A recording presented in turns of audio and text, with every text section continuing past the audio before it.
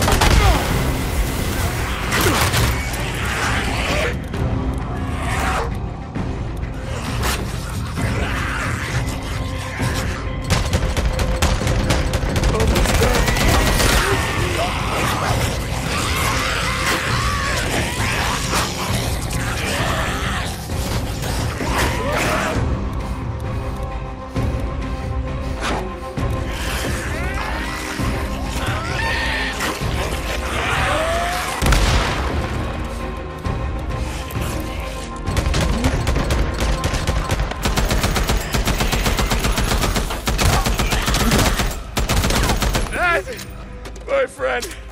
There's all of them. Jesus. Uh, Booze man, you there? It's clear. You can, uh, have Rikki bring the truck over. Copy that. Hey, Deke, we got a surprise for you, brother. Oh, great. That's great. Can't wait. Deacon out.